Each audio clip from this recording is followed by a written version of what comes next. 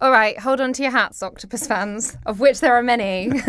Octopuses are on beloved. my hat. Hold on to Yeah. your metaphorical hat. Anyway, the, the reason you're holding on is because this week we had the brilliant news that an iconic psychology experiment works with octopuses too. And this is the famous rubber hand illusion where you trick someone into thinking a fake hand is their own. Wow, love it. Um, but it works with a tentacle. That of is an what we've now. That is what we now know. Right. Um, for, so, for those not familiar, this was first uh, done in the 1990s in people. It's this experiment that showed that you can be fooled into thinking that a fake hand, a rubber hand, is your own. I've always wanted to experience it, but never have. But you You've got- have, haven't you? Yeah, yeah, yeah. Have you done it? Yeah, I've done Oh, it. it's Really? great. It really messes with your mind. Yeah. so what what you do is, um, yeah, you're sat at a table and your arm goes under a, a curtain or or a box, Hmm. and next to it they put a rubber arm that's you know matched to your skin tone. That you can see. Yeah, that you can you see can't next see your to arm, it. but you see this fake and arm. what happens is um, someone strokes the fake hand with a brush at the same time that they stroke your real arm that's hidden away. And after a little while, you, you, you get this weird transference thing going on in your brain where you, you understand that the fake hand you're looking at is your real hand. And it's really bizarre, isn't it? It is, and it has really important implications for helping people with amputations Yeah. um, recognise their, Yeah. their limbs. Yeah. Yeah, because it's not just a party trick. Um, that people have also looked into it. Like, can we use this kind of illusion to make us feel like we embody robots, for example? Can also make you feel like you've teleported into another body. Yeah. There've been loads of variations on it. And now they've done it in octopuses. so, our reporter, James Woodford, he says that we already knew that some other animals can be fooled by this rubber hand illusion, Wow. um, like mammals, so mice, for example. Uh, but now a team in Japan have found that you can also trick octopuses this way too. They carried out the experiment with captive octopuses that were each given a fake arm or tentacle uh, made out of a soft gel, and then they used uh, like an opaque partition to block their view of, of one of their real arms. Yeah.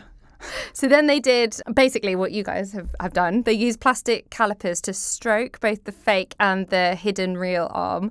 And then they moved to pinch the fake arm with tweezers. So it's a bit like sometimes in the rubber hand, Yeah. they make you feel like it's your hand and then they They, they bash it. bash with a, it with yeah, a hammer yeah. and you, you freak out even Yeah. though you're not actually in pain. And the octopuses did similar. When uh, they, the arm was sort of aggressively jabbed, the fake arm was aggressively jabbed. The octopuses then kind of reacted with a variety Squirted of like defense responses. It doesn't say anything about ink, but uh, some of them changed colour, some of them like rapidly retracted their arm, and some some of them just got out of there. I, I have to applaud the biologists here for what they've done. Can, can you imagine trying to set this experiment up? I mean, it, it must be bad enough with a mouse. Almost, I can't imagine how they've done it Yeah. with my. But an octopus, so you've got to do it underwater and get an octopus to leave its tentacle somewhere Yeah. while it, you put a Hide it, yeah, yeah, while you put a fake tentacle there. I mean, how how did they manage to do that?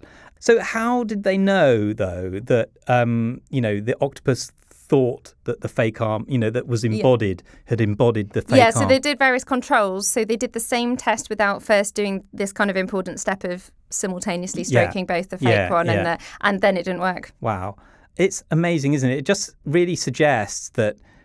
Well, uh, that that octopuses have a, a body image, Yeah. like like uh, like we do. Yeah, this Um, feeling of embodiment. Yeah, and I guess you think of how good they are at um, adapting themselves to their environment, Mm. like camouflaging themselves. They can do, and they can mimic a whole range of different things, like in shape as well as color. Mm. I always think of the floating coconut one. yeah. Well, they've got so they have an, an amazing self awareness. So perhaps it's not surprising that they can do that. yes, although I was a bit surprised because we always talk about them having in their tentacles these mini brains, right? They have this sort of uh, more distributed nervous system. Mm. So I thought perhaps if they have these mini brains in each of their tentacles, they'd be less susceptible to an illusion like this. Yeah, I thought exactly the same, and, and then I, I guess I think maybe you know the central brain has the eyes, and that's what's being fooled by the illusion in this point, and and so you know the central brain is still is still the central brain, Yeah. and and has to process this illusion, and so maybe that's why it, it happens. Yeah. But amazing stuff.